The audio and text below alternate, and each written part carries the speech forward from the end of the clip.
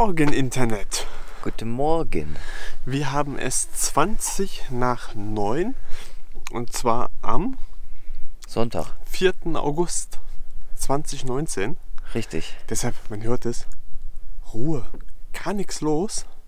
Nur wir sind wach und das schon seit gut zwei Stunden. Da irgendwo in irgendeinem Camper hat man gerade was gehört. Der knackt es. Genau. Das sind auch ältere Leute. Ja, Nett. wir haben gut gefrühstückt, haben uns fertig gemacht und jetzt wollen wir noch Pi mal Daumen bis 300 Kilometer fahren. Circa. Hm? eher weniger. Und wie gesagt, guckt euch die Landschaft an. Dann, den Blick hatten wir heute Morgen zum Frühstück. Einfach nur genial. Kann man nicht meckern, definitiv nicht. Nö. Und jetzt wollen wir weiter. Wir werden heute unser Endziel nicht erreichen, denn wir fahren erstmal zum Bodo, der mit dem Bagger, ne, denn der, Der baggert, baggert noch. noch. Und dann wollen wir mit der Fähre übersetzen. Und dann haben wir das Ziel, wo Stefan unbedingt hin will, erreicht. Ich wollte da gar nicht hin, aber naja, man ist jetzt verheiratet. Da muss man auch das machen, was der Ehemann Außerdem möchte. wirst du dich ne, wirst du das nicht bereuen, glaube ich nicht. So, damit du ein bisschen besser drauf bist. Sonst bist du immer so halb. So bist du denn nur drauf. Ja, ja, ja, ja. Gut, alles klar. Wir sind fertig. Dann machen wir den Bulli fertig. Obwohl, der ist auch schon fertig. Jo, Wir fahren jetzt los. Bis später. Los. Bis später.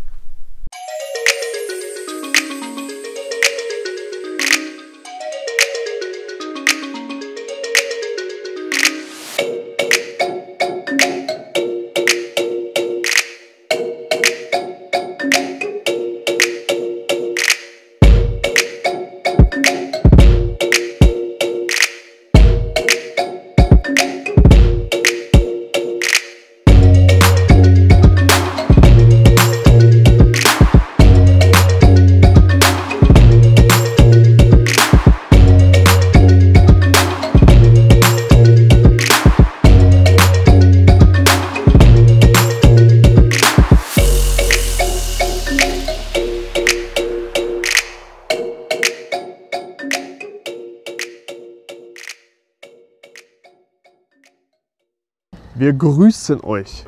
Wir sind wo? Am Arctic Circle. Das heißt für euch alle am Polarkreis. Ja. Wir haben ihn, glaube ich, auch schon einmal überschritten und äh, Genau. sind jetzt wieder sozusagen auf der ja, unteren Seite Genau. des Polarkreises oder beziehungsweise das wieder. Und gleich überschreiten wir ihn wieder. Genau. Das heißt, ab jetzt wird es heller.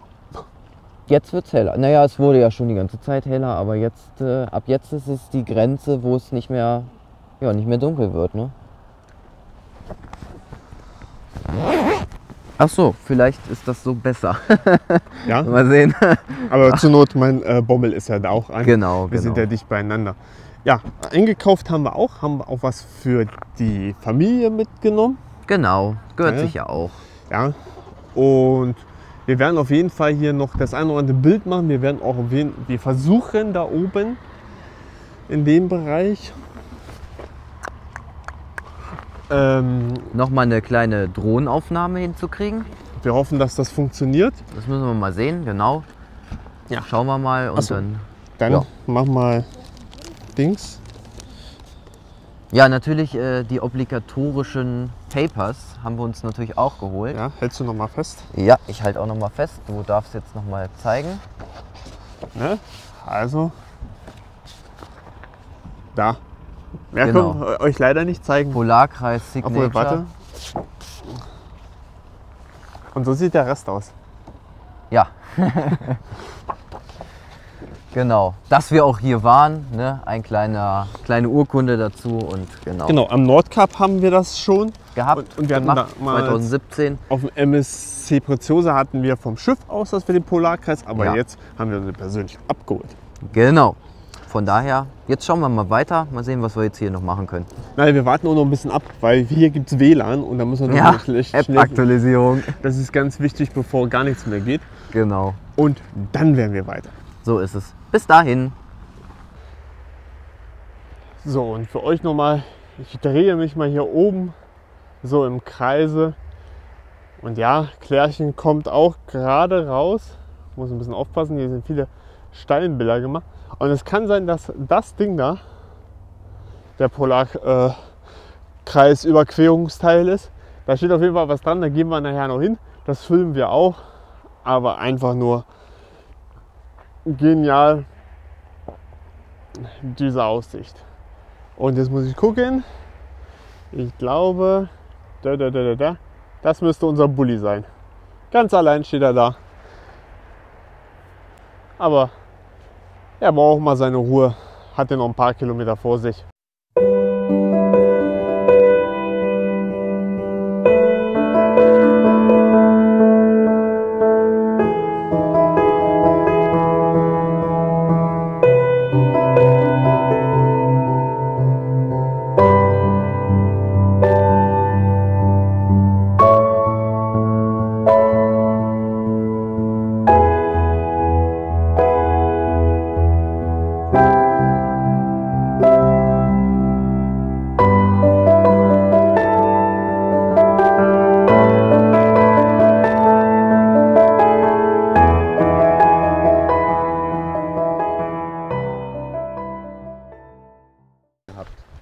Ein Satz mit X. Das war aber nichts. Ja, geladen hattest du sie. Äh, In St. So. Peter-Ording. ja, danach, danach nicht mehr. Da war sie jetzt alle. Ja, dann gibt es halt keine Fotos mit der. Äh, Spiegelreflexkamera. aber wir haben ja hier gute Fotoqualität von unseren anderen Geräten. Also gehe ich mal davon aus. Das Gibt ein wird paar schon. schöne Bilder dabei. Genau. Trotzdem, also, das kriegen wir Ja. hin. Der Flug ist, denke ich mal, auch gut geworden. Hoffen wir mal. Ja, da war Akku nicht alle. Nein, da habe ich auch ein paar mehr Akkus. Und jetzt gehen wir in den Steinwald, Steingarten, in den Steingarten. Und würde ich jetzt sagen.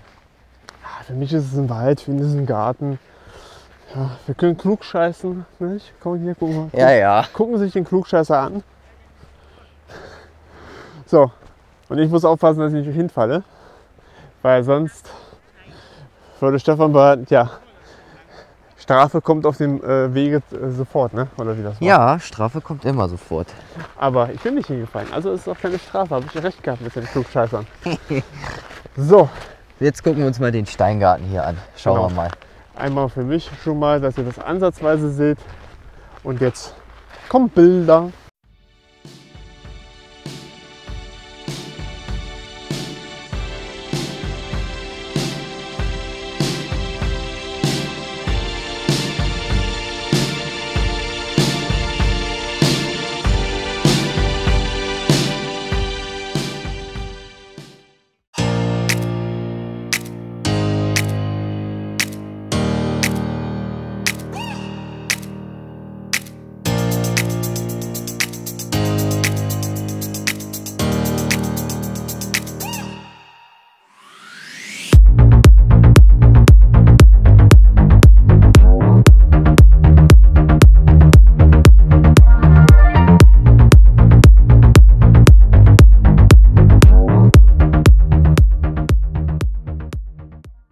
Wir haben schon wieder gestoppt. Wir sind gar nicht so weit weg vom Polarkreis und machen jetzt einen Drohnenflug über diesen ganz speziellen Fluss.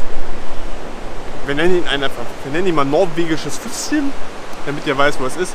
Und einmal mal zu gucken, da hinten geht es weiter. Und ich muss immer mal hier gucken. Und da gibt es so einen kleinen Wasserfall da hinten. Also es ist jetzt schon schön. Also wenn ich überlege, 500 Kilometer musste ich warten, bis es endlich mal schön wird. Jetzt endlich ist es schön wieder.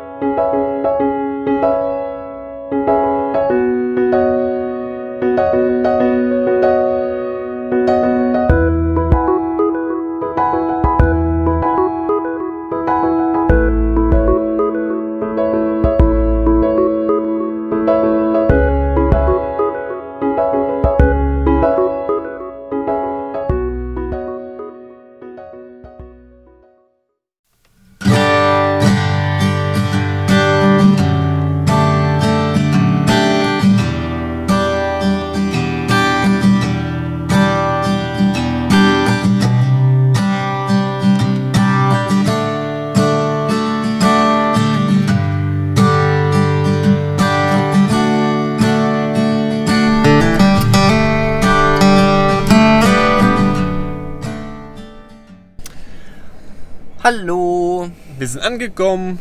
Genau, wo sind wir denn? Bodo haben wir schon verraten. Genau. Und wo geht's hin? Der baggert noch. Achso, du wolltest ja sagen, äh, wohin es geht. Äh, es geht nach. Wo geht's denn hin? Ja, Moskenes. Ja, jetzt wisst ihr, wo Moskanes ist, ne? Ich weiß es überhaupt nicht. Kennt, sagt mir überhaupt nichts.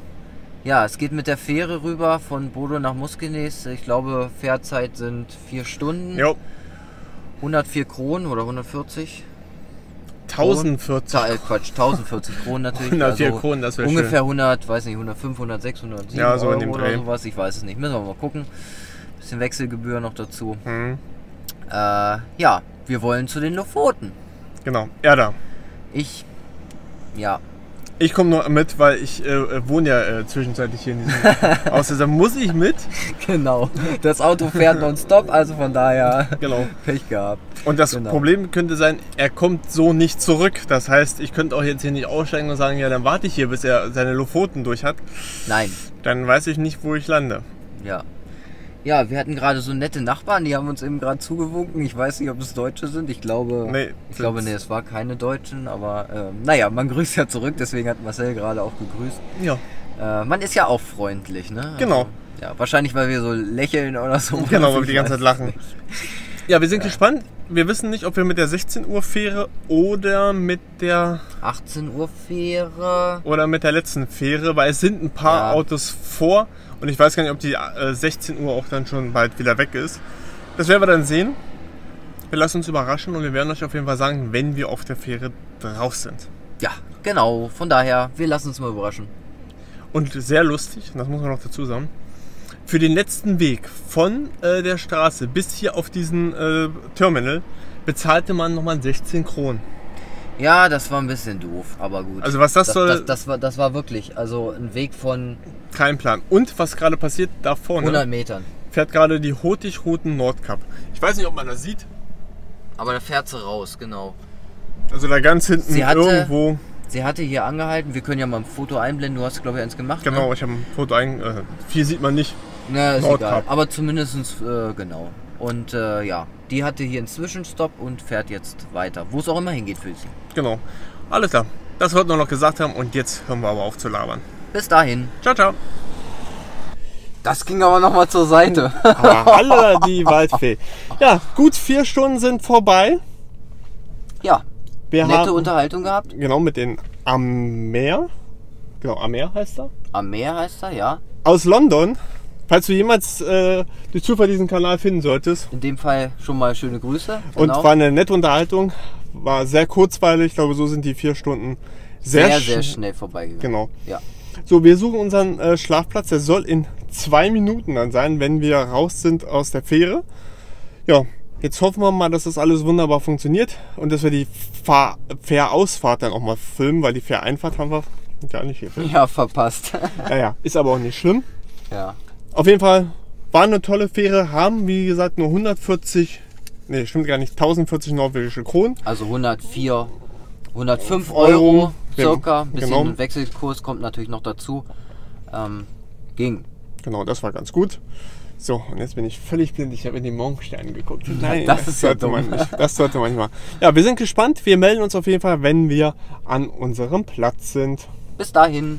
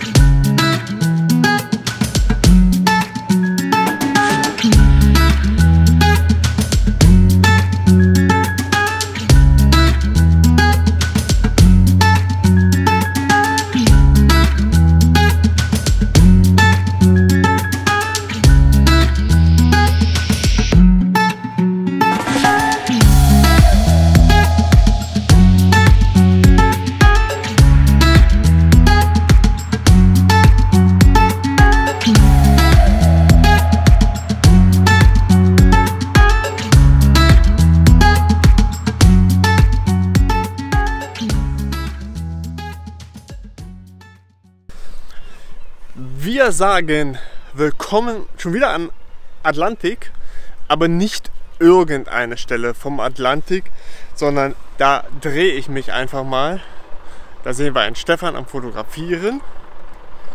Und wenn man sich das anschaut, jo, jo, jo, jo, da muss man dann so machen und so machen. Ist ja wohl mal geil, oder? Und wo sind wir jetzt? Wir sind auf den Lofoten. Damit Grüße an Schwiegerpapa. Genau. An meinen Papa natürlich. Ja, mein Schwiegerpapa. Darf ich jetzt ganz offiziell sagen. Kann keiner mehr was dazu sagen. Ja, und falls ihr nicht wissen solltet, wo ihr draufklicken sollt, immer auf Kreuzfahrtbully. Das Problem ist so rum. Ja. Ja, lustigerweise, ihr werdet es nicht sehen, würde ich mal behaupten. Weil jetzt muss ich selber mal schauen. Da zwischendurch. Da. Dreh doch die Kamera, da hast du eine bessere Qualität. Dann würde ich noch mal hinten. einmal rum. Da hinten die Aida Bella. Ja, haben wir entdeckt. Und wahrscheinlich können die singen Bella Ciao, Bella Ciao, Bella Ciao, denn sie verlässt die Lofoten. Genau. Können euch das ja Ganze noch mal jetzt hier mit zeigen. Bisschen näher rangeholt. Die Lofoten, also die Berge natürlich in den Wolken. Aber schaut es euch mal an. Unsere nette Begleitung, die wir vorhin da ähm, ja, kennengelernt haben, Der Amar. Am Meer. Entschuldigung. am Meer, genau, der wird wohl hier irgendwo in den Bergen sich ein Plätzchen suchen.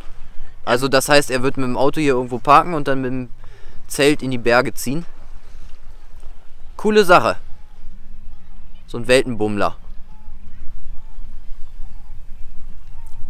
Ja. Typisch für die Gegend hier natürlich diese tollen Fischerorte, ne? Ja. Und äh, ja, ich gucke jetzt gerade, hier sehen wir es nicht. Überall gibt es Stockfisch.